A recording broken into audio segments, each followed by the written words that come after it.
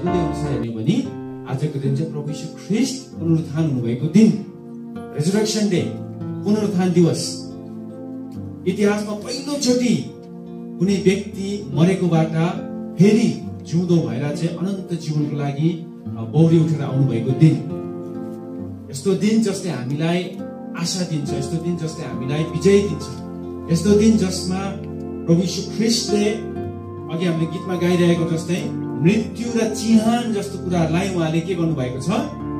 जित्नु भएको छ। त्यो दिन त्यसले गर्दाखेरि हामी यो घोषणा गर्न यहाँ भेला भएको छ। प्रभु ख्रिस्टको पुनरुत्थानको बारेमा हामी विश्वासीले जान्न किन जरुरी छ? किन चाहिँ हामी यसप्रति वास्तविक हुनुपर्छ भन्ने कुरालाई लिएर तपाईँहरूको अगाडि भन्न चाहन्छु। किन भन्दाखेरि एउटा विश्वासीले नि म जहिले भन्ने गर्छु एउटा विश्वासीले यस ख्रिस्टलाई उहाँलाई राम्ररी बुझ्ने हो भने उहाँको सेवा गर्ने हो भने प्रभु यीशु ख्रिस्टको बारेमा लिएर झन् कम्तीमा चारवटा कुरा जान्नै पर्छ। पहिलो कुरा उहाँको देह धारण। कसरी चाहिँ शरीर उहाँ आउनुभयो? दोस्रो उहाँको दुःख कष्ट र क्रुसको मृत्यु जसको बारेमा अस्ति हामीले हेऱ्यौँ। तेस्रो यो पुनरुत्थान प्रभु यीशु ख्रिस्टको बौरी उठाएको बारेमा हामीले जान्नै पर्छ। अनि त्यसपछि यो प्रभु यीशु ख्रिस्टको स्वर्ग रहन र पछि आउने उहाँ फर्केर आउनुहुने कुरालाई लिएर हामीले जान्नै पर्छ। त्यही भएर चाहिँ आज चाहिँ हामी के हेर्दैछौँ भन्दाखेरि प्रभु यीशु ख्रिस्टको पुनरुत्थान चाहिँ किन जरुरी छ हामीले जान्नुपर्ने? प्रभु यीशु ख्रिस्टको पुनरुत्थानको बारेमा हामीले जानेनौँ भने त्यो सत्यतालाई हामीले बुझेनौँ भने हामीले के गुमाइरहेको हुन्छौँ भन्ने कुरा लिएर हामी हेर्नेछौँ। त्यसको लागि मैले आजको खण्ड पहिलो कुरन्तीको पुस्तक पन्ध्र अध्यायलाई छानेको छु। पहिलो कुरन्तीको पुस्तक पन्ध्र अध्याय बाइबलमा एउटा मात्र यस्तो अध्याय हो जसमा चाहिँ सुरुदेखि लिएर लास्टसम्म धेरै पुनरुत्थानको विषयमा लेखिएको छ। बाइबलको विद्वानहरूले या त बाइबल बाइबलको कुरा सिकाउने मान्छेहरूले कहिलेकाहीँ यसलाई पुनरुत्थानको च्याप्टर पनि भन्छ पुनरुत्थानको अध्याय। अब सुरुदेखि अन्तसम्म पढ्नुभयो भने त्यसमा पुनरुत्थानको बारेमा लिएर नै पाउले घोषणा गरेको छ। हुन्छ हामी पहिलो कुरन्ती पुस्तक पन्ध्र अध्याय त्यसको एकदेखि लिएर अगाडि पढ्नेछौँ। एकदेखि लिएर हामी चारसम्म पढ्नेछौँ त्यसपछि बाह्रदेखि लिएर उन्नाइससम्म पढ्नेछौँ ल। भाइ मैले तिमीलाई प्रचार गरेको सुसमाचार म तिमीलाई याद दिलाउन चाहन्छु। जुन सुसमाचार तिमीहरूले ग्रहण गर्यो र जसमा तिमीहरू स्थिर रहन्छौ यस सुसमाचारद्वारा तिमीहरूको उद्धार भएको छ। यदि त्यसमा तिमीहरू अटल रह्यो भने न त तिमीहरूले व्यर्थमा विश्वास गर्यो। किनभने मैले जे पाएँ त्यसैलाई सबैभन्दा मुख्य विषयको रूपमा तिमीहरूलाई सुम्पी पनि दिए। अर्थात् पवित्र धर्मशास्त्र अनुसार ख्रिस्ट हाम्रो पापका निम्ति मर्नुभयो उहाँ गाडिनु भयो र पवित्र धर्मशास्त्र अनुसार तेस्रो दिनमा उहाँ पुनर्जीवित पालिनु भयो। अनि बाह्रदेखि अगाडि पढ्नेछौँ। मृतकहरूबाट ख्रिस्ट पुनरुत्थान हुनुभयो भने प्रचार गरिन्छ भने कसरी तिमीहरू मध्ये कसै कसैले मृत्युको पुनरुत्थान हुँदैन भनी भन्न सक्छौ? तर यदि मृतकहरूको पुनरुत्थान हुँदैन भने त ख्रिस्ट पनि मृतकबाट पुनर्जीवित पालिनु भएको होइन। यदि ख्रिस्ट मृत्युबाट पुनर्जीवित पालिनु भएको होइन भने त हाम्रो प्रचार व्यर्थ हुन्छ र तिमीहरूको विश्वास पनि व्यर्थ हुन्छ। त्यसभन्दा बढी हामी परमेश्वरको बारे छुट्टा साक्षी ठहरिन्छौँ किनकि उहाँले ख्रिस्टलाई मृत्युबाट पुनर्जीवित पार्नु भयो भने हामीले परमेश्वरको बारे गवाही दिएका छौँ। तर साँच्चै मृत्युहरूको पुनरुत्थान हुँदैन भने उहाँले ख्रिस्टलाई पुनर्जीवित पार्नु भएन किनकि यदि मृतकहरूको पुनरुत्थान हुनहुने भए त ख्रिस्ट पनि मृतकबाट जीवित पालिनु भएन। ख्रिस्ट पुनर्जीवित पालिनु भएन भने तिमीहरूको विश्वास व्यर्थ छ र तिमीहरू अझसम्म आफ्ना पापमा नै छौ तब त ख्रिस्टमा सुति गएकाहरू पनि नष्ट भएका छन्। यदि यस जीवनको लागि मात्र ख्रिस्टमा हामीले आशा राखेका छौँ भने हामी सबै मानिसहरू भन्दा बढी दयनीय हुन्छौँ। बिस पनि पढ्थ्यौँ। वास्तवमा ख्रिस्ट मृतकहरूबाट जीवित हुनुभएको छ। यो वचनको खण्ड लिएर हामी केही अध्ययन गर्नेछौँ। पन्ध्र अध्यायमा आएर चाहिँ उसले एउटा विशेष विषयमा चर्चा गरेको छ अनि त्यो विषयमा पनि उसले केही कुराहरू स्पष्ट पारेको छ। त्यो चाहिँ हो के थियो?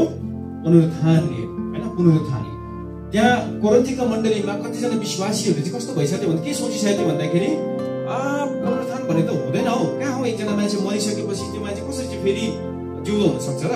भन्ने खालको सोचतिर उनीहरूले के भन्नु थालेको थियो भन्दाखेरि त्यसो भए त प्रभु यीशु ख्रिस्ट पनि पुनरुत्थान हुनु भएन भन्ने खालको चर्चा चलिसकेको थियो। आफूले प्रचार गरेको कुरा याद दिलाउँछ। उसले के भन्छ भन्दाखेरि एक पदमै मैले तिमीलाई जुन सुसमाचार सुनाए त्यो सुसमाचार म तिमीलाई याद दिलाउन चाहन्छु। त्यो सुसमाचार जुन सुसमाचार तिमीले ग्रहण गरेको हुनाले तिमीले त्यसमा विश्वास गरेको हुनाले के भयो अरे तिमीहरूले उद्धार पायो भने चाहिँ के भन्छ एक पदमा बताएको छ। अनि तिन पदमा हेर्ने हो भने पावलले के भन्छ भन्दाखेरि यो सुसमाचार वास्तवमा त्यो सुसमाचार जुन म आफैले पनि पाएँ। यो मैले बनाएको सुसमाचार होइन। यो मैले भनेको कुरा होइन। मैले पनि यही कुरा ग्रहण गरेकोले गर्दा विश्वास गरेकोले गर्दा उधार पाएँ। अनि त्यही सुसमाचार मैले के गर्दैछु तिमीहरूलाई दिँदैछु।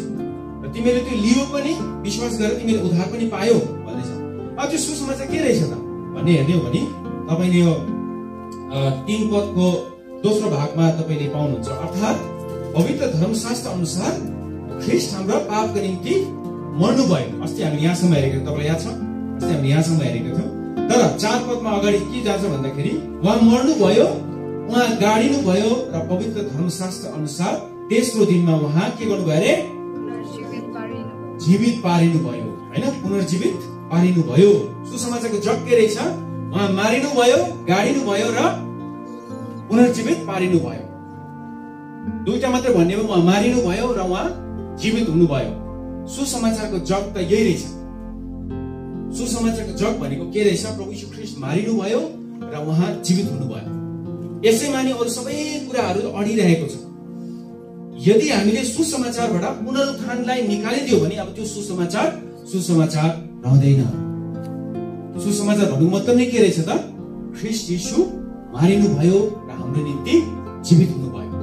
अनि पावलले के भन्छ भन्दाखेरि यदि तिमीले यो जुन चाहिँ सुसमाचार सुन्यो यसमा तिमीहरू अटल रह्यो भने यो कुरालाई तिमीले समाधि राख्यौ भने तब मात्र तिमीहरूको उद्धार हुन्छ नभए त तिमीहरूले व्यर्थमा विश्वास गर्यो भने चाहिँ दुई पदमा उसले भनेको छ। लास्टमा नत्र त तिमीहरूले व्यर्थमा विश्वास गर्यो अब कोरन्थीको कुरा हेर्ने भने कोरन्थीले के गरिसकेको थियो? प्रभु श्री ख्रिस्ट पुनरुत्थान हुनु भएन भन्ने खालको कुरा गरिसक्यो। त्यसको मतलब पावलले के भन्नु खोजेको भन्दाखेरि यदि तिमीहरूले सुनेको सुसमाचारबाट तिमीले पुनरुत्थान निकाल्दैछौ भने त तिमीहरू तिमीहरू आफैले आफूलाई नष्ट गर्दैछ। यदि तिमीहरूले यो ठान्छौ कि पुनरुत्थान हुनुभएको छैन प्रभु भने त तिमीहरू अहिलेसम्म तिमीहरूको पापमै छौ। के को आधारमा हामी उद्धार पाउँछौँ भने यही सुसमाचारको ग्रहण गरेकोले गर्दाखेरि हामी उद्धार पाउँछौँ यो सुसमाचारलाई कि यीशु ख्रिस्ट हाम्रो निम्ति मारिनु भयो र फेरि जीवित हुनुभयो। पहिला चाहिँ हामी के हेरौँ भन्दाखेरि के कुराले गर्दाखेरि चाहिँ कोरन्थीको मण्डलीहरूले चाहिँ यो निष्कर्षमा पुग्नु भयो कि प्रभु ख्रिस्ट गौरी उठ्नु भएन भन्ने खालको के कुरामा के कुराले गर्दा उनीहरूले त्यो निष्कर्षमा पुग्यो भन्दाखेरि हामीले रो कोरन्थीको मण्डलीको ब्याकग्राउन्ड हेऱ्यौँ भने त्यहाँ अलिकति देख्न पाउँछौँ र पावलले उनीहरूलाई कसरी सम्झाएको छ? विशेष गरी मूर्ख भनेर चाहिँ सम्झाएको छ। त्यसलाई हेऱ्यौँ भने हामी के देख्छौँ भन्दाखेरि कोरन्थीहरू यो निष्कर्षमा पुगेको र मेन कारण के थियो भनेदेखि उनीहरूमा भएको संसारिक ज्ञान। संसारिक ज्ञानले कोरन्थीहरू चाहिँ ग्रिक फिलोसफीमा बढी ध्यान दिने गर्दथ्यो। भन्नु मतलब चाहिँ उनीहरू चाहिँ बुद्धि खोज्ने मानिसहरू थियो। यहुदीहरूले चिन्ह खोजी गर्छ होइन? शक्तिको कुरा खोजी गर्छ तर ग्रिकहरूले के गर्छन्? बुद्धिको कुरा खोजी गर्छ। ज्ञानको कुरा भन्नु मतलब चाहिँ के? रिजन खोज्छ उनीहरूले। यदि यो हो भने किन? कसरी? कहिले? भन्ने खालको एउटा ज्ञानको कुरा उनीहरूले खोजी बुद्धिको कुरा खोजी गर्छ। हो त्यसले गर्दाखेरि उनीहरूले के पाए भन्दाखेरि उनीहरूले चाहिँ परमेश्वरको वचनको सत्यताबाट चाहिँ संसारको कुरालाई हेर्ने भन्दा पनि संसारको दृष्टिकोणले परमेश्वरको वचनलाई केलाउनु खोज्यो हो त्यसले गर्दाखेरि चाहिँ उनीहरू यो निष्कर्षमा पुग्यो जस त्यसपछि चाहिँ पावलले उनीहरूले ए मूर्खहरू! भनेर चाहिँ सम्झाउनु परेको छ। प्राचीन मण्डली एकदम बढेर गएको कुरा हामीलाई थाहा छ है। धेरै कुरामा हामी प्राचीन मण्डलीबाट उदाहरण लिने गर्छौँ। तब थाहा छ तिस वर्षको अवधिमा प्राचीन मण्डली यस्तो बढेर गयो कि संसारलाई उलट पुलट गाड्यो पार्यो भने चाहिँ बाइबलमा साक्षी दिएको छ। तब थाहा छ उनीहरूले किन चाहिँ त्यस्तो उनीहरू किन त्यसरी बढेर गयो सुरुको मण्डलीहरू किन बढेर गयो त्यसरी? तपाईँले बाइबलमा हेर्नुभयो भने तपाईँले पाउन सक्नुहुन्छ कि वास्तवमा उनीहरू त्यति बढेको कारणले कारण चाहिँ के थियो भन्दाखेरि उनीहरूभित्र भएको एउटा निश्चयता र त्यो निश्चयताको घोषणा। त्यो निश्चयता के थियो भन्दाखेरि ख्रिस्ट येसु जीवित हुनुभएको छ भने चाहिँ उनीहरूमा त्यो निश्चयता थियो। उनीहरू त्यत्रो बढेको उनीहरू त्यति अगाडि गएको आफ्नो प्राणसम्म ख्रिस्टको निम्ति दिने एउटै मात्रै कारण थियो उनीहरूलाई यो निश्चित थियो कि ख्रिस्ट यीशु मर्नु भएको छ यहाँसम्म यति पनि उनीहरूलाई निश्चित थियो कि ख्रिस्ट यीशु त अलिक छिटै नै आउनुहुन्छ भनेर पनि उनीहरूको निश्चित थियो। हो त्यसको घोषणाले गर्दाखेरि के भन्छ प्राचीन मण्डली बढेको कुरा हामी देख्छौँ। तपाईँले प्रेरितको पुस्तक चार तेत्तिसमा पढ्नु भयो यो कुरा पाउनुहुन्छ कि उनीहरूले के भन्छ प्रभु ख्रिस्टको पुनरुत्थानलाई लिएर चाहिँ कति गम्भीर थियो भन्ने कुरा। अब आज हाम्रो कुरा गर्ने हो भने हाम्रो मण्डलीलाई डाँच्ने हो भने हामी प्राचीन मण्डली जस्तो छौँ कि हामी के भन्छ कोरन्थीको मण्डली जस्तो छौँ होला। हेर्ने हो भने हामी र उनीहरूको बिचमा त्यति अन्तर छैन। प्रभु ख्रिस्टको पुनरुत्थानलाई लिएर। त्यसको प्रुफ के हो भन्दाखेरि हामीले प्रभु ख्रिस्टको पुनरुत्थान लिएर कतिको चर्चा गर्छ?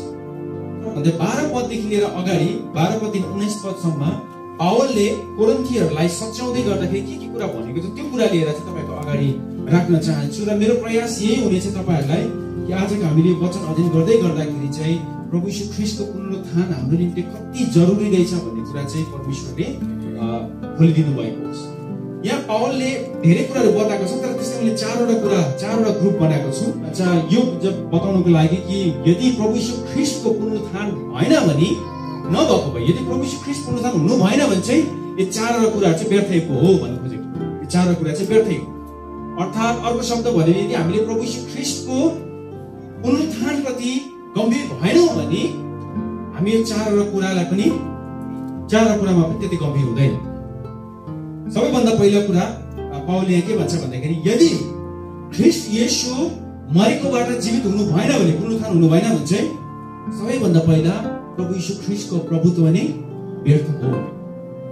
पाउलले के भन्छ यदि प्रभु यीशु ख्रिस्ट मरेकोबाट पुनरुत्थान हुनु भएन भने त प्रभु हुनुहुन्न झुटो कुरा अनि यसको लागि पाउलले कहाँ भनेको छ तपाईँले यो पन्ध्र अध्यायको तेह्र पदमा तेह्र पदमा हेर्नुहोस् के भन्छ?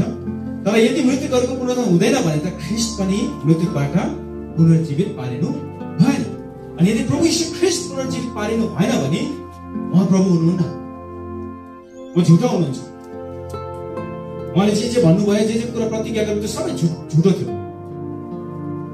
तब थाहा छ प्रभु यीशु ख्रिस्टलाई बुद्धिहरूले उहाँको विरोधीहरूले दुईचोटि उहाँको प्रभुत्वको प्रमाण मागेको चिन्ह मागेको उनीहरूले भनेको थियो तपाईँले यत्रो ठुल्ठुलो कामहरू गर्नुहुन्छ यत्रो कुराहरू दाबी गर्नुहुन्छ। एउटा चिन्ह देखाउनुहोस् न हामी त्यसले गर्दाखेरि विश्वास गर्छु। भन्दाखेरि प्रभु दुईचोटि नै चिन्ह दिनुभयो। कस्तो खालको चिन्ह दिनु भने उहाँले आफ्नो पुनरुत्थानलाई लिएर चाहिँ चिन्ह दिनुभयो। सबैभन्दा पहिला हामी मत्तीको पुस्तक बाह्र अध्यायको अडतिसदेखि चालिसमा पाउँछौँ। त्यहाँ प्रभु ख्रिस्ट चिन्ह माग्दाखेरि प्रभु यीशु के भन्नु भन्दाखेरि दुष्ट पुस्ताले के भन्छ अरे चिन्ह माग्छ तर यो पुस्तालाई चाहिँ योना अगमवक्ताको चिन्ह बाहेक अरू चिन्ह दिने छैन। योना अगमवक्ता के भएको थियो? तिन दिन तिन रातसम्म माछाको पेटमा बसेको थियो र चौथो दिन उसलाई के गरेको तिन दिनपछि उसलाई के भयो थियो? बाहिर निकालेको थियो। प्रभु ख्रिस्टले के भन्नुभयो भन्दाखेरि हो त्यस्तै नै मानिसको पुत्र पनि तिन दिन तिन रातसम्म कहाँ अरे चिहानमा रहनेछ। अनि त्यसपछि तेस्रो दिनमा चाहिँ के गर्नुहुन्छ उहाँ? जीवित भएर निस्किनुहुनेछ। भनेर चाहिँ उहाँले सङ्केत गर्नु अर्को एउटा चिन्ह माग्ने घटना चाहिँ योहन्नाको पुस्तक दुई अध्याय त्यसको उन्नाइसदेखि बाइसमा हामी पाउँछौँ। त्यहाँ प्रभु श्री ख्रिस्टलाई चिन्हमा चिन्ह मागेको थियो मानिसहरू। तपाईँ प्रभु भन्नुहुन्छ। लु हामीलाई चिन्ह दिनुहोस् न भन्दाखेरि प्रभुले के भन्नु भन्दाखेरि यो मन्दिरलाई भत्काइदेऊ र म यसलाई फेरि के गर्छु? तिन दिनमा खडा गर्छु निर्माण गर्छु। होइन? भन्नु मतलब चाहिँ त्यो चाहिँ मेरो चिन्ह हुनेछ। मेरो प्रभुत्वको चिन्ह त्यो हुनेछ भनेर चाहिँ प्रभुले भन्नुभएको थियो। अनि उनीहरूले के सोच्यो भन्दाखेरि ए यो त बलै छ। यो मन्दिर बनाउनको यत्रो साल लाग्यो अनि तिन दिनमा बनाउँछ यसमा कुरै नगरौँ। यहाँसम्म चेलाहरूले पनि यो कुरा बुझेको थिएन। पछि गएर मात्रै उनीहरूले बुझेको थियो। पछि गएर मात्रै उनीहरूले बुझ्यो खास गरी उहाँले आफ्नो शरीरको बारेमा भन्नुभएको रहेछ। यदि मैले तिमीहरूले मेरो शरीरलाई मार्यो र मैले तिन दिनमा यसलाई जीवित पारेँ भने प्रभु तपाईँलाई थाहा छ प्रभु यीशु ख्रिस्ट यस संसारमा सेवाकाई गर्दै हुँदाखेरि यति बढी ठुल्ठुलो दावी गर्नुभयो जस्तो उहाँले भन्नुभयो म हुँ भन्ने कुरा गर्नुभयो। म संसारको ज्योति हुँ म जीवनको रोटी हुँ होइन? म बाटो हुँ म दागको बोट हुँ भनेर धेरै गर्नुभयो। तर यी सबै दावीहरू भन्दा नि सबैभन्दा ठुलो उहाँको दावी के थियो थाहा छ? उहाँले आफैलाई म ख्रिस्ट हुँ भनेर दावी गर्नुभएको थियो। जसको अर्को शब्द के हुन्छ भन्दाखेरि म परमेश्वर हुँ। अनि यो दावीको कारणले गर्दाखेरि यीशु ख्रिस्टलाई यहुदीहरूले मार्ने प्रयास पनि गरेको थियो वास्तवमा प्रभु यीशु ख्रिस्टलाई मार्ने एउटै मात्रै कारण पाएको यही नै थियो। तब थाहा छ जब प्रभु यीशु ख्रिस्टलाई गिरफ्तार गरेर लगेर प्रधान पुजारीको अगाडि मानिसहरूले पुरा झुटो आरोप लाउँदै थियो उहाँलाई प्राणदण्ड प्राणदण्ड दिनुको लागि। ए यो मान्छेले यस्तो भन्दै गरेको हामीले सुनेको थियौँ। यो मान्छे यस्तो गरेको हामीले देखेको थियौँ। कसैको पनि त्यो झुटो आरोपहरू कसैको आरोप पनि उहाँलाई प्राणदण्ड दिने योग्यको ठरेन उनीहरू हार खाइसकेको थियो हो त्यतिखेर चाहिँ प्रधान पुजारीले उभिएर के भनेछ हामीलाई भन् म परमेश्वरको शपथ दिएर तँलाई भन्छु तर सोध्छु भन् के तँ साँच्ची परमेश्वर होस्? भनेर सोद्धाखेरि प्रभुश्वरले त्यतिखेर स्वीकार हो म हुँ भन्नुभयो हो त्यसपछि त प्रधान पुजारीले आफ्नो लुगा च्यातेर भन्यो कि अब हामीले अरू आरोपको खाँचो छैन किन भन्दाखेरि यो आरोप इनफ छ। किनकि यहुदी परम्परा अनुसार यहुदी व्यवस्था अनुसार कसैले आफैलाई परमेश्वर हुँ भनेर दावी गर्छ उनीहरू उसको लागि एउटै मात्रै ट्रिटमेन्ट थियो त्यसलाई ढुङ्गा ल्याएर मार्नु पर्थ्यो। हो त्यही भएर उनीहरूको हातमा थिएन नियम। रोमी सम्राटले के भन्छ रोमी साम्राज्यको भित्र पर्दथ्यो। हो यस्तै गरी उनीहरूले आफै नमारेर उनीहरूले के गरेको छ? प्रभु ख्रिस्टलाई रोमी सेनाको हातद्वारा मारिनुको लागि उनीहरूले पठायो अनि जब प्रभु ख्रिस्टको मृत्यु भयो नि उनीहरू के भयो? उनीहरू के सोचे थाहा छ? यीशु भन्ने नामको व्यक्तिको त इतिहास नै खतम भयो हामीले सिध्याइथ्यौँ भन्ने खालको चाहिँ उनीहरूले सोचिरहेको थियो यहाँसम्म कि चेलाहरूले पनि चेलाहरूले पनि के सोचेथ्यो भन्दाखेरि ओ हामीले पछाडिको प्रभु त भएछ ठिकाना लागेछ लु माछा मारेर जाउँ भनेर पत्रुस त माछा पनि मार्नु गइसकेको अनि जब प्रभु यीशु ख्रिस्टको पुनरुत्थान भयो भन्ने खालको जब उनीहरूले सन्देश पायो त्यतिखेर उनीहरूले विश्वास गर्न सकेन कि उनीहरूले खास गरी उहाँको मृत्यु शरीर मुर्दा शरीर पो खोज्नु गर्थ्यो चिहानमा प्रभुलाई धन्यवाद होस् मुर्दा शरीर खोज्दै गर्दाखेरि स्वर्गदूतले एउटा यस्तो सन्देश दियो जुन सन्देशले उनीहरूको जीवन सधैँको लागि बत्तिने मात्र होइन तर प्रभु यीशु ख्रिस्टले बोल्नु भएको हरेक उहाँले गर्नु हरेक दाबीलाई पुरा गरेर त्यो सन्देश हामी मतीको पुस्तक अठाइस अध्यायको छ पदमा पाउँछौँ त्यहाँ के भनेछ भन्दाखेरि उहाँ यहाँ हुनुहुन्न हामी चाहिँ मुर्दा शरीर खोज्नेहरूलाई यीशुले के स्वर्गदूतले के भन्यो? उहाँ यहाँ हुनुहुन्न। किनकि उहाँले भन्नुभएको म चाहिँ उहाँ के हुनुभएको छ? जीवित भई उठ्नु भएको छ? उहाँले भन्नुभएकोमा चाहिँ उहाँ जीवित भई उठ्नु भएको छ। भने चाहिँ जब यो सन्देश उसले पाए नि पत्रुसले जब यो कुरा उसले बुझ्यो त्यसपछि गएर जब उसले पहिलोचोटि प्रेमको पुस्तक दुई अध्यायमा तिन हजार अगाडि उनीहरूले प्रचार गर्दाखेरि के भने थाहा छ? हेर्नुहोस् प्रेमको पुस्तक। दुई अध्यायको बत्तिसमा उसले के भनेछ भन्दाखेरि यिनै यीशुलाई परमेश्वरले जीवित पार्नुभयो यस कुराका हामी सबै साक्षी छौँ। अनि छत्तिस पदमा अझै के भन्छ यसै कारण इजरायलको सारा परिवारले यो पक्का गरी जानुहोस् कि येशू जसलाई तपाईँले क्रुसमा टाङ्नु भयो परमेश्वरले उहाँलाई प्रभु र ख्रिस्ट बनाउनु भयो? यही कुरा नपत्याउने कोरिन्थीको मण्डलीलाई पनि पावलले पहिलो कोरिन्थी पन्ध्रदेखि बिस पतिले त वास्तवमा ख्रिस्ट मृत्युहरूबाट जीवित हुनुभएको छ? विश्वास गर्नु यो कुरा। टिमोथी केलर भन्ने एकजना व्यक्ति हुनुहुन्छ अहिले पनि उहाँले प्रचार गर्नुहुन्छ। उहाँको प्रचार तपाईँले सुन्नुभयो भने एकदम राम्रो प्रचार गर्नुहुन्छ। उहाँले के भन्नुहुन्छ भन्दाखेरि यदि ख्रिस्ट मरेर जीवित हुनुभयो भने यदि उहाँ जीवित हुनुभएको छ भने उहाँले भन्नुभएको हरेक कुरा हामीले तपाईँ र मैले के गर्नुपर्छ भने स्वीकार्नुपर्छ।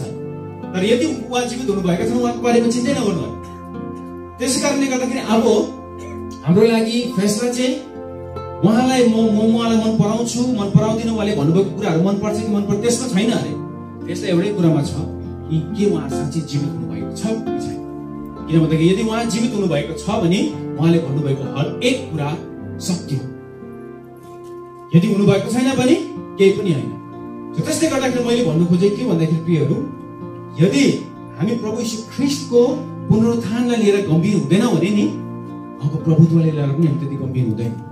किन भन्दाखेरि उहाँको पुनरुत्थानले गर्दा त उहाँ सबको प्रभु बन्नुभएको। Amen? बुझ्दै वचनले सिकाउँछ? उहाँको पुनरुत्थानले गर्दाखेरि उहाँ चाहिँ सबका प्रभु ठहरिनु भयो। दोस्रो कुरा चाहिँ के भन्दाखेरि पाउलले के भन्छ भन्दाखेरि ख्रिस्टको पुनरुत्थान भएन भने त हामीले दिएको गवाई पनि के अरे? झुटो हो भने चाहिँ पन्ध्र अध्यायको चौध पदमा पहिलो कुरो पन्ध्रदेखि चौधमा के भन्छ यदि ख्रिस्ट मृत्युबाट पुनर्जीवित पारिनु भएको होइन भने त हाम्रो प्रचार व्यर्थ हुन्छ। हामीले दिएको सन्देश बेकारको हामीले त झुट मात्रै बोलिरहेको हुन्छौँ भनी बताएको छ।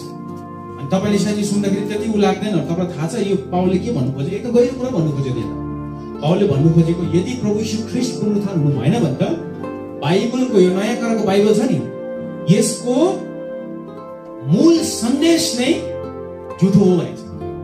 किन भन्दाखेरि यो सन्देश केमा आधारित छ? ख्रिस्ट यीशुको पुनरुत्थानमा आधारित छ। यदि ख्रिस्ट यीशु नै पुनरुत्थान हुनु भएन भने त उहाँको बारेमा दिएको सन्देश पनि के भयो? झुटो भयो। तर प्रभुलाई धन्यवाद होस् वास्तवमा ख्रिस्ट यीशु पुनर्जीवित हुनुभएको छ। उहाँ मृत- मृतकहरूबाट जीवित हुनुभएको छ। जसले गर्दाखेरि हामी विश्वास गर्न सक्छौँ यहाँ लेखेको कुराहरू सबै सत्य। तेस्रो कुरा जो चाहिँ मलाई लाग्छ अलिक इम्पोर्टेन्ट कुरा हो यदि ख्रिस्ट यीशु मरेको मरेकोबाट पुनरुत्थान हुनु भएन भने त हाम्रो विश्वास पनि व्यर्थै हो। हामी आजसम्म हाम्रो पापमै छौँ भन्छ। यो अ, सत्र पदमा सत्र पदमा के भन्छ ख्रिस्ट पुनर्जीवित पारिनु भएन भने तिमीहरूको विश्वास व्यर्थ छ र तिमीहरू अझसम्म आफ्नै पापमा नै छौ भनेको छ? मर्नु भयो भने विश्वास मात्रै होइन तर उहाँ मरेकोबाट जीवित हुनुभयो भने पनि विश्वास गर्नुपर्ने रहेछ। तब गएर हाम्रो उद्धार हुँदो रहेछ। रोमीको पुस्तक रोमीको पुस्तक तपाईँले चार अध्यायको पच्चिस पदमा तपाईँले हेर्नुभयो भने के भनेछ? चार अध्यायको पच्चिस पदमा उहाँ हाम्रा अपराधहरूको निम्ति मारिनु भयो र हामीलाई धर्मी तुल्याउनुलाई जीवित पारिनु भयो हाम्रो अपराधको क्षमाको लागि उहाँ मारिनु भयो तर धर्मी तुल्याउनुको लागि के खर्च पर्यो? उहाँ जीवित हुनु पर्यो हो त्यसले गर्दा बाइबलले के भन्छ? उहाँ हाम्रो अपराधहरूको निम्ति मारिनु भयो र हामीलाई धर्मी तुल्याउनुलाई जीवित पारिनु भयो अझै पहिलो पत्रुस एक अध्यायको तिन पदमा के भन्छ भनेदेखि परमेश्वर हाम्रो प्रभु यीशु ख्रिस्ट पिता धन्यको हुनुहुन्छ। उहाँको महान कृपाले मृतकबाट यीशु ख्रिस्टको पुनरुत्थानद्वारा एउटा जीवित आशाको निम्ति हामी नयाँ गरी जन्मेका छौँ भनेछ। एउटा जीवित आशाको निम्ति नयाँ गरी कसरी जन्मियो के कारणले केले गर्दा जन्मिनु पायो भने हामी ख्रिस यीशुको पुनरुत्थानद्वारा। ख्रिस यीशु पुनरुत्थान हुनुभयो त्यस कारणले गर्दाखेरि हामीले नयाँ जीवनको आशा पायौँ। अझ रोमी दस अध्यायको नौ पदमा तपाईँले हेर्नुभयो त यो एकदम इम्पोर्टेन्ट है ध्यान दिएर हेर्नुहोस् है। रोमीको पुस्तक दस अध्यायको नौमा त एउटा विश्वासी जबसम्म प्रभु ख्रिस्टको पुनरुत्थानलाई विश्वास गर्दैन तबसम्म त्यो विश्वासी बन्दै बन्दैन भनेर चाहिँ बताएको छ। हेर्नुहोस् है यहाँ। किनकि यदि तिमीले यसलाई प्रभु हो भने आफ्नो मुखले स्वीकार गर्यो र परमेश्वरले उहाँलाई मरेकाहरूबाट जीवित पार्नु भयो भने आफ्नो हृदयमा विश्वास गर्यो भने मात्र तिमी के हुनेछ? प्रभु यीशु ख्रिस्टलाई परमेश्वरले मरेकोबाट जीवित पार्नु भयो भने पक्का गरी विश्वास गर्नुपर्छ। अनि अघि हामीले क्वेसन गर्दाखेरि हेर्दै थियौँ हामीले त हाम्रो लाइफ टाइममा कति अन्त अहिलेसम्म प्रभु यीशु ख्रिस्टको पुनरुत्थानको बारेमा सन्देश पनि सुनेको छैन भन्नुहोस् त हेर्नुहोस् त त्यसमा हाम्रो आफ्नो क्रिस्चियन जीवनमा हामी कति गम्भीर हुन्छौँ होला। यदि हामी प्रभु ख्रिस्टको पुनरुत्थानमा गम्भीर छैनौँ भने हाम्रो विश्वासलाई लिएर हाम्रो आत्मिक जीवनलाई लिएर पनि त्यति हामी गम्भीर हुँदैन। त्यही भन्नु खोज्दैछ पावलले। पावलले के भन्छ भन्दाखेरि अठार पदमा भन्छ यदि ख्रिस्ट येसु यो चाहिँ नम्बर फोर अनि लास्ट हो यदि ख्रिस्ट येसु पुनरुत्थान हुनु भएन भने त सुति गएकाहरू अर्थात् मरि गए मरि गएकाहरू पनि सबै नष्ट भयो भन्ने चाहिँ पावलले बताउँछ। अठार पदमा तब ती ख्रिस्टमा सुति गएकाहरू पनि सबैजना के भयो अरे नष्ट भएका छन्। म त पावलले आजभन्दा अगाडि जतिजनाहरू होइन यो कुरा हामीले दुई प्रकारले बुझ्न सक्छौँ। एउटा त आजसम्म जतिजना मान्छेहरू अगाडि हामीभन्दा अगाडि प्रभुमा गयो होइन उनीहरूले मरिसक्यो। अनि हामीलाई कता न कता एउटा आशा छ है भोलिको दिनमा गएर हामी उनीहरूलाई भेट्ने छौँ भनेर है? छ है कतिजनाले आफ्नो प्रेरणा गुमाउनु भएको छ। तर यदि प्रभु ख्रिस्ट पुनरुत्थान भएको छैन रहेछ भने त उनीहरू सबै नष्ट भएको रहेछ। कहिले पनि भेट्नु नपाउने पो रहेछ। तर यसको अर्को पनि छ यो त एउटा अर्को अर्थ के हुन्छ भन्दाखेरि भोलि गएर अहिले तपाईँ र म पनि यस पृथ्वीलाई छोडेर जानुपर्ने रहेछ भने त हाम्रो हाम्रो पनि आशा छैन रहेछ। हामी पनि यो संसारको लागि मात्रै रहेछ सबैभन्दा हामीलाई डर लाग्ने कुरा के हो? मृत्यु हो।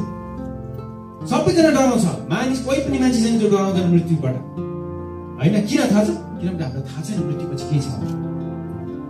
प्रभु यीशु ख्रिस्टले योनाको पुस्तक योनाको पुस्तक एघार अध्याय त्यसको पच्चिसमा उहाँले के भन्नुभएको थियो भन्दाखेरि पुनरुत्थान र जीवन म हुँ। मलाई विश्वास गर्ने मर्यो भने पनि के हुनेछ अरे? जीवित हुनेछ। छब्बिसमा अनि जिउने र ममाथि विश्वास गर्ने प्रत्येक कहिले मर्ने छैन। के तिमी विश्वास गर्छौ? भनेर चाहिँ प्रभु ख्रिस्टले क्वेसन गर्नुभएको यो क्वेसन हामीलाई पनि छ। विश्वास गर्छौ भने होइन?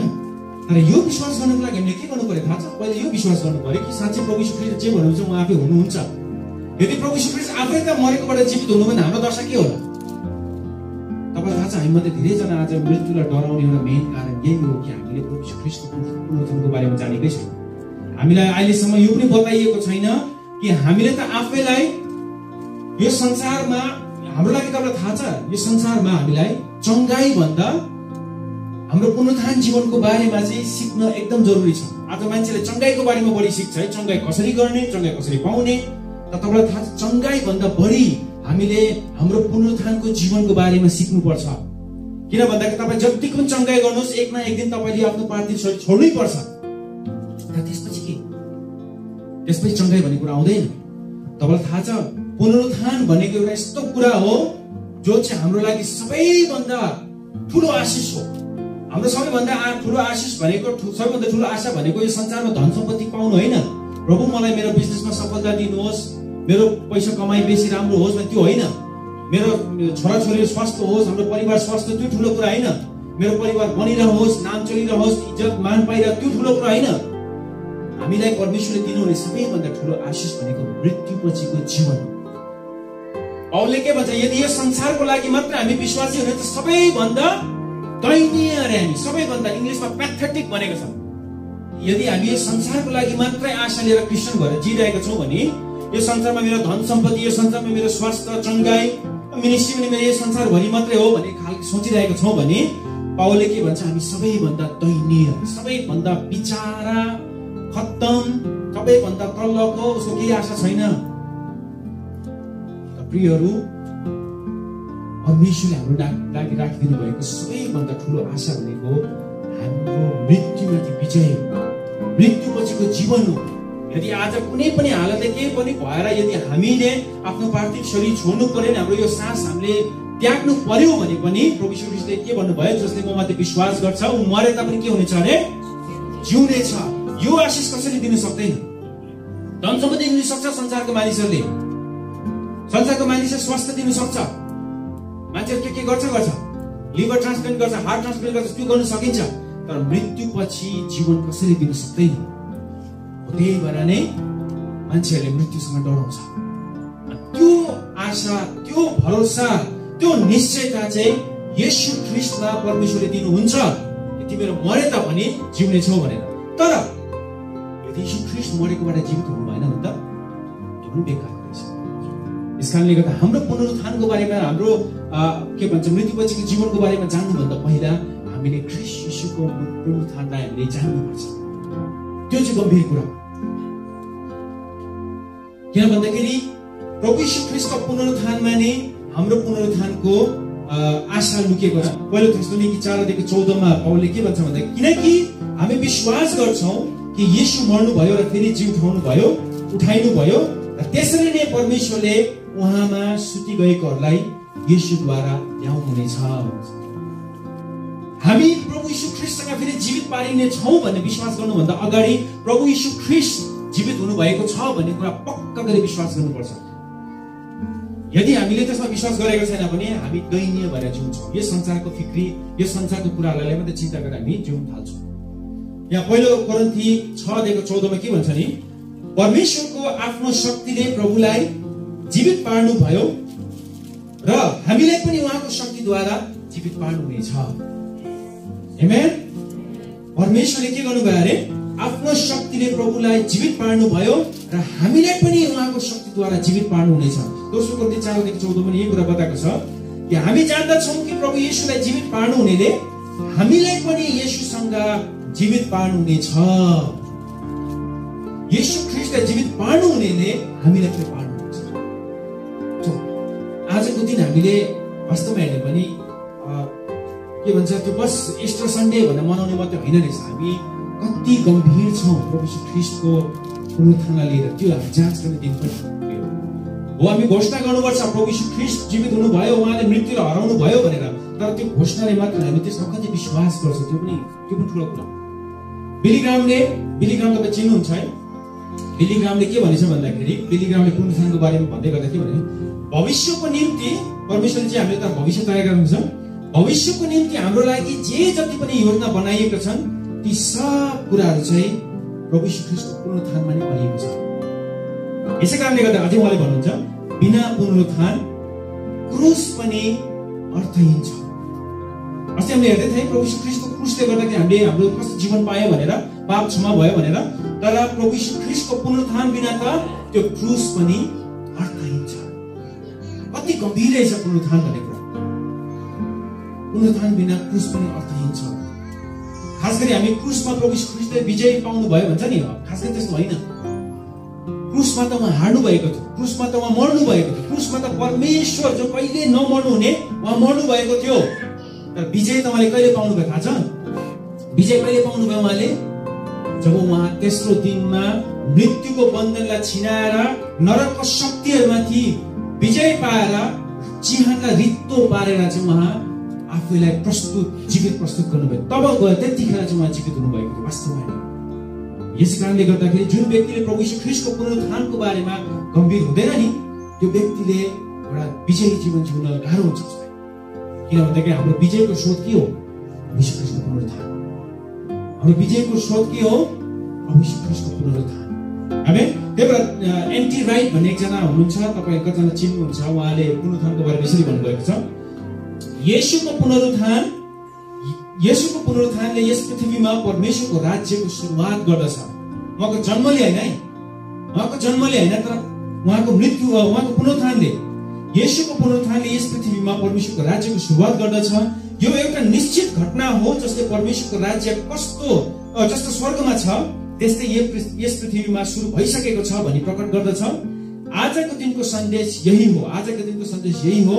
कि यसुमा परमेश्वरको नयाँ संसार प्रकट भइसकेको छ र तपाईँलाई यस राज्यमा बस्न निमन्त्रणा दिएको छ।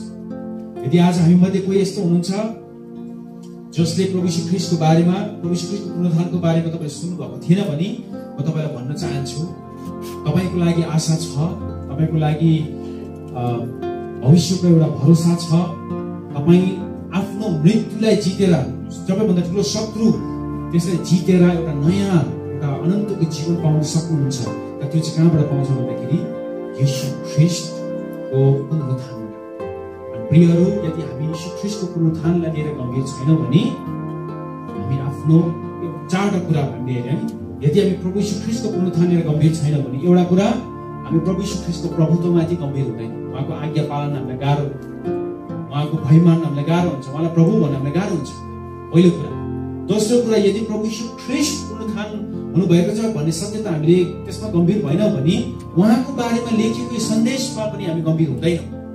वचन पढ्न हामीलाई गाह्रो हुन्छ वचन स्वीकार हामीलाई गाह्रो हुन्छ किनकि त्यो त्यसैमा आधारित छ।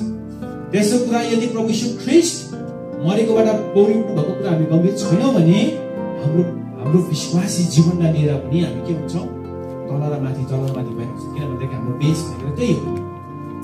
अन्तमा यदि प्रभु ख्रिस्ट मर्नुभयो भने खालको कुरालाई हामी गम्भीर भएनौँ भने हामी मृत्युसँग डराउँदै दैन्य भएर संसारमा जिरहेको छ। हाम्रो अनन्त जीवनको लागि परमेश्वर जुन आशा राख्नु भएको छ त्यो हामी देख्नै सक्दैनौँ। प्रभु ख्रिस्टको पुनरुत्थानले हामीलाई त्यो कुरा बुझाउँदछ। यसकारण आजको दिन म तपाईँलाई उत्साह दिन्छु। पावलले जस्तै बिस पदमा भनेछ नि पहिलो ग्रन्थी पन्ध्रदेखि बिस पदमा पावलले भने जस्तै हामी मिलेर घोषणा गरौँ कि वास्तवमा ख्रिस्ट मृतकहरूबाट जीवित हुनुभएको छ। फेरि भन्नुहोस् त वास्तवमा ख्रिस्ट मृतकहरूबाट जीवित हुनुभएको छ।